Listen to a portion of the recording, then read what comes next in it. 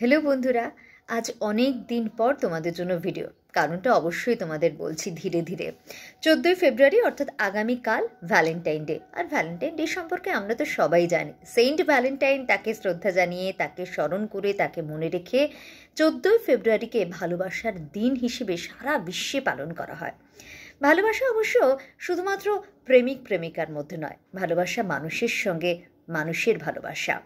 আর সেই জন্যই সেই দিনটি, অর্থাৎ চোদ্দোই ফেব্রুয়ারিতে মানুষ মানুষকে ভালোবেসে গিফট দেয়। আমরা প্রত্যেকেই গিফট পেতে এবং গিফট দিতে ভালোবাসি। তবে আমার বন্ধুদের জন্য কি গিফট থাকছে? আমার বন্ধুদের জন্য থাকছে গিফট অবশ্যই কবিতা। কারণ অনেক দিন তোমাদের সঙ্গে কবিতা নিয়ে কিছু করা হয় না। কবিতা বলা হয় না, কবিতা শোনানো হয় না তোমাদের।